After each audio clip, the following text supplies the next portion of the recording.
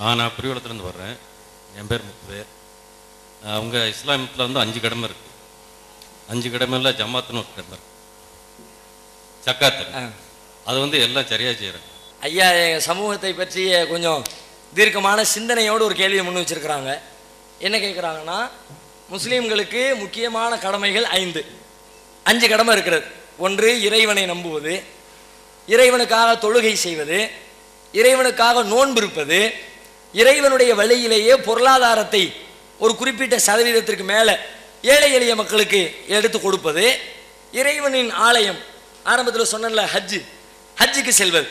இந்த அஞ்சு கடமைகள் இஸ்லாத்தினுடைய மிக முக்கியமான கடமைகள்.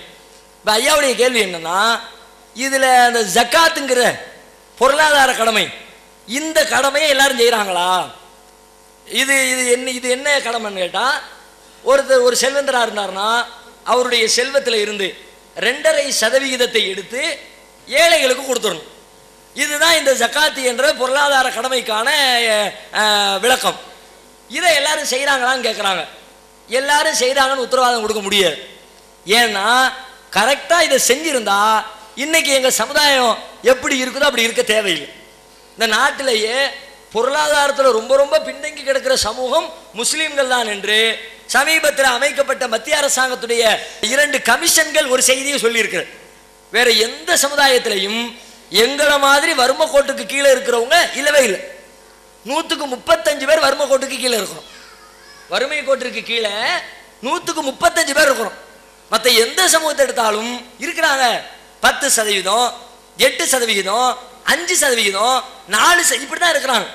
எங்களுடைய சமூகத்தில் தான் முப்பத்தஞ்சு சதவீதம் பேர் வறுமை கோட்டிற்கு கீழே இருக்கிறார்கள். இப்போ இந்த வறுமை கோட்டிற்கு கீழே இருக்கிற மக்களை அவங்கள கைதூக்கி பொருளாதார ரீதியாக தன்னிறைவு பெற்றவர்களாக ஆக்குவதற்காகத்தான் இந்த சட்டத்தையே சொல்லியிருக்கு. இருக்கிற செல்வந்தர்கள் இருக்கிற பங்கு வச்சு கரெக்டாக கொடுக்க வேண்டியதை கொடுத்தா ஒவ்வொருத்தரையும் டெவலப் பண்ணிக்கிட்டே இருக்கலாம். ராஜபாளையத்தில் ஒரு ஏழையை பார்க்க இயலாது. ஸ்ரீவில்லிபுத்தூரில் ஒரு ஏழையை பார்க்க முடியாது. நாட்டில் ஒரு ஏழை இல்லை. நபிகள் நாயகம் காலத்தில் அப்படி செஞ்சாங்க. நபிகள் நாயகம் ஆரம்பத்தில் ரொம்ப ஏழ்மையில் இருந்தாங்க. இறைவனிடமிருந்து இந்த சட்டம் வந்ததுக்கு பிறகு அவங்களுடைய ஆட்சிக்கு உட்பட்ட பகுதியில் இருந்து அந்த டேக்ஸை கலெக்ட் பண்ணி கலெக்ட் பண்ணி ஏழை எளிய மக்களுக்கெல்லாம் விநியோகிச்சாங்க. அவங்க மரணிக்கிற காலத்திலேயே சூழ்நிலை தலைகீழாக புரட்டி போட்டுட்டாங்க. தேடி தேடி அலைகிற மாதிரி. யாருக்காவது தேவை இருக்குதா? பணம் வேணுமா?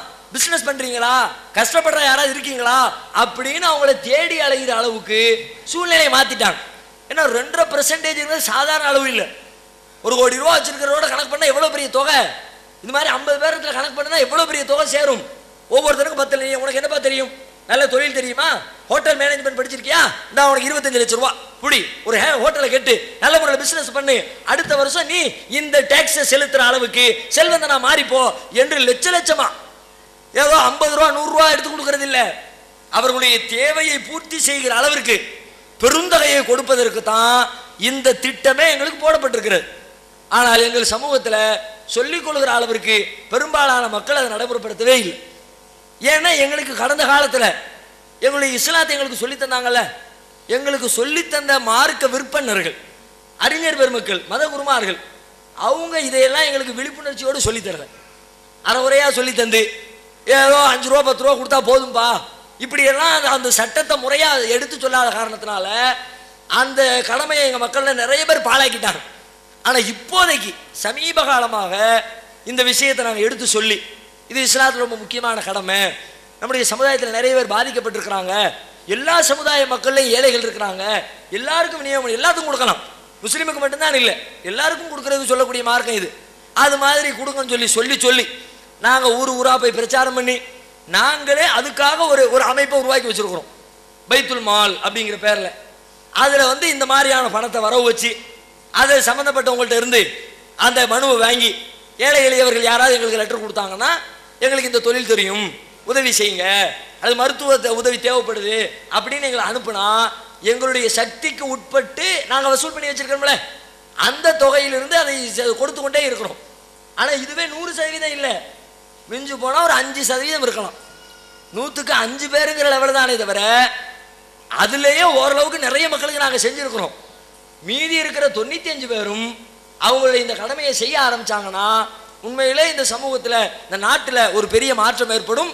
அதை நோக்கி மக்களை அழைத்து சென்று கொண்டிருக்கிறோம். எதிர்காலத்திலே கண்டிப்பாக அந்த கடமையை முழுமையாக நிறைவேற்றுகிற மக்கள் உருவாகுவார்கள் என்று நாங்கள்